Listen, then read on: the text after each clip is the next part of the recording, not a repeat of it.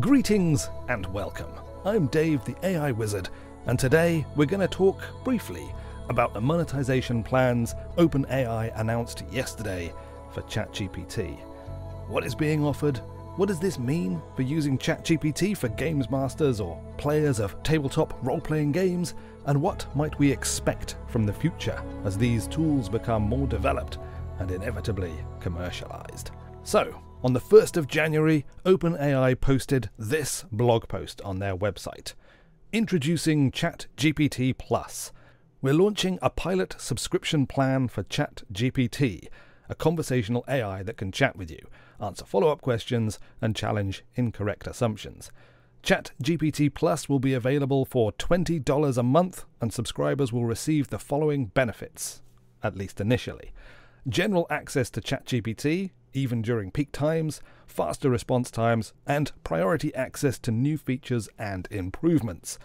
ChatGPT Plus is available to customers in the United States, and we will begin the process of inviting people from our waitlist over the coming weeks.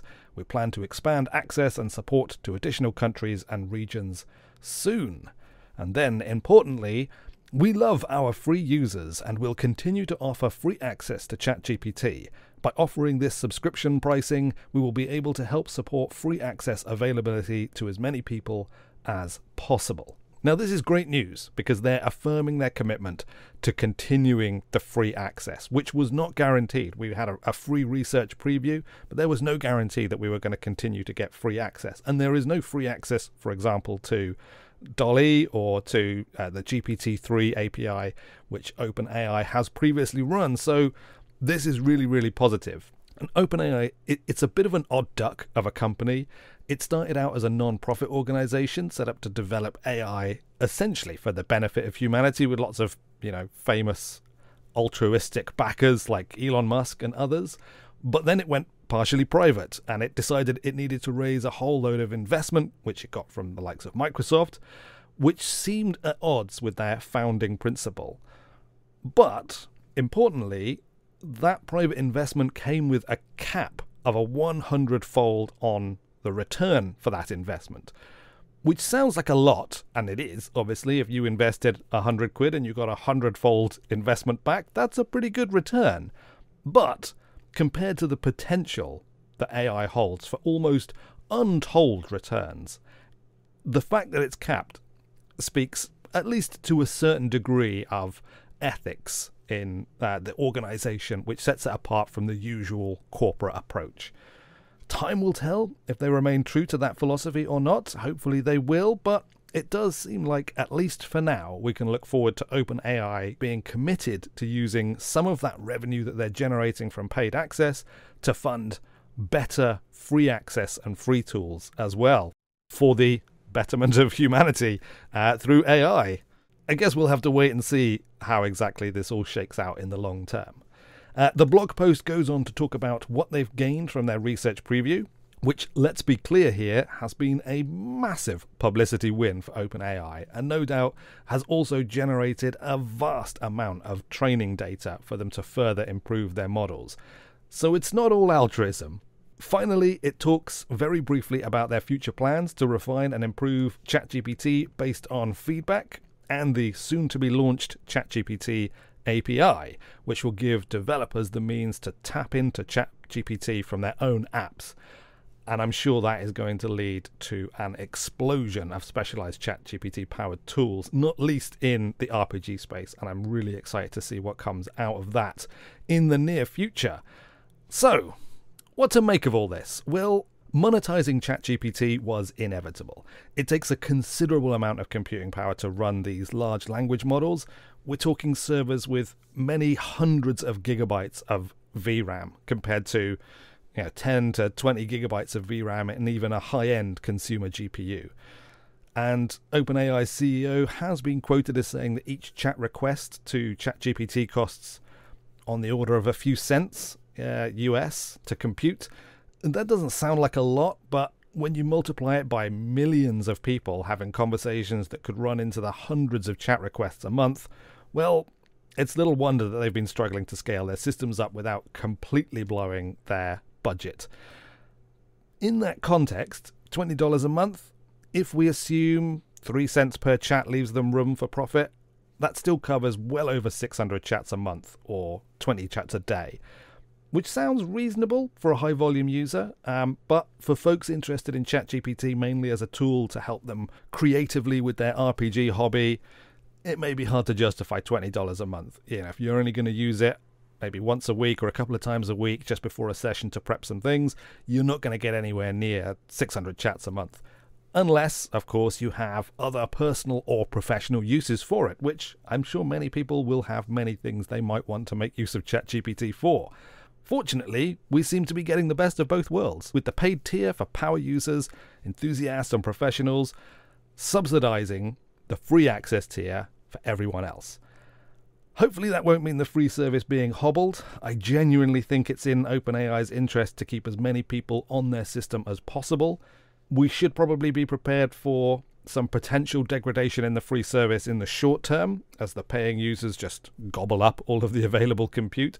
I suspect that's one of the reasons why they're rolling it out slowly with invitations rather than just allowing people to mass subscribe initially so they can mitigate that effect somewhat. Because if that happens, it means OpenAI is raking it in, and presumably they can afford to scale up faster. So I suspect it's going to be more a matter of how quickly they can actually bring more compute online rather than necessarily having the money to do it. I think they've probably got the money to do it, and I think they're expecting that it's going to be a very popular service and they'll have even more money to do it. It's just going to be a case of how quickly can they actually scale.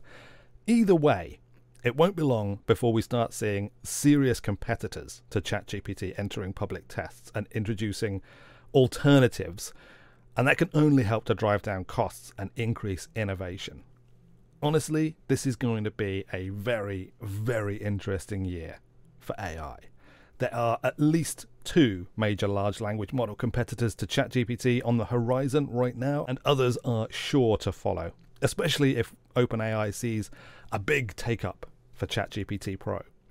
We should also expect to see rapid development of these models with more capabilities, better memories, better specializations, and generally improved understanding and intelligence, all of which can only lead to even more incredible enhancements to the creative output of, specifically in relation to this channel, games masters, referees, storytellers, and role players everywhere. And on that note, I think that's all I have for today regarding the big news. Exciting and in many ways a huge relief that free access has been assured. That was in no way guaranteed. So, for the time being at least, very good news. Quick channel update before I go.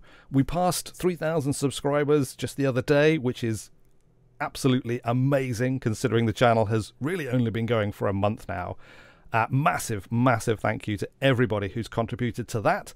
The next part of the Sorcerer's Tower, my AI written D&D module is in the works and it should be up very soon, as is my long delayed video on using Stable Diffusion to generate awesome RPG artwork. And there will be more Stable Diffusion content after that as well.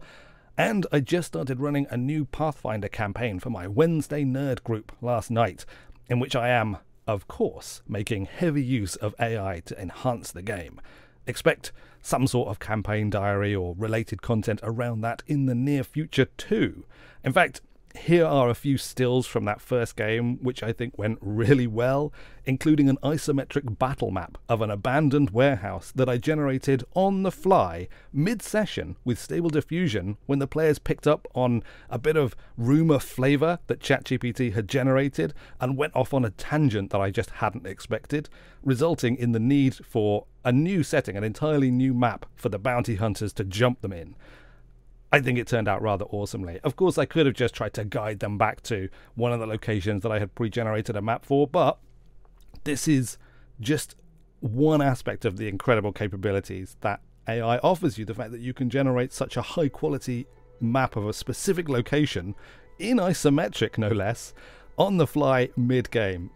Genuinely thrilled with the way this worked out. As a side note, I've also created a Discord server as a bit of an experiment. The idea is it'll be a place to generally chat about AI in tabletop role playing games, and also it'll be a handy place for me to upload some of the art battle maps, and other content that I generate while making these videos. There's a link in the description for anyone wanting to join. It's very bare bones at the moment, but I'll put some time into fleshing it out as soon as I get a chance.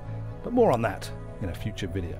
Until then, thanks for watching everyone, and I'll see you later.